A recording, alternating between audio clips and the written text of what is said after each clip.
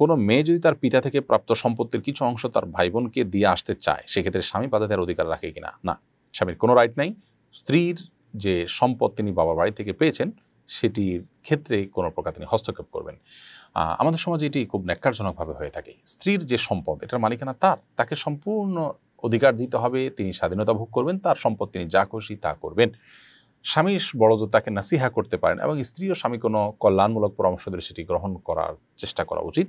But স্ত্রীকে স্বামী বাধা দেয়া, অমুককে দিবে, তমুককে দিবে না, আমাকে দিয়ে দাও বা এটা করো, ওইটা করো, এরকম যেটাকে বলে খবরদারি, সেটা করার কিন্তু রাইট তার নাই। আমাদের দেশে এই রাইট জোর করে খাটানোর চেষ্টা করা হয়। আর যদি খাটাতে না পারেন, তাহলে সেক্ষেত্রে স্ত্রীকে অবাধ্য মনে করেন এবং সেক্ষেত্রে ঝামেলা তৈরি করেন। এটা আমাদের অজ্ঞানতার কারণেই আল্লাহ তালা আমাদেরকে বোঝার তফিক দান করুন।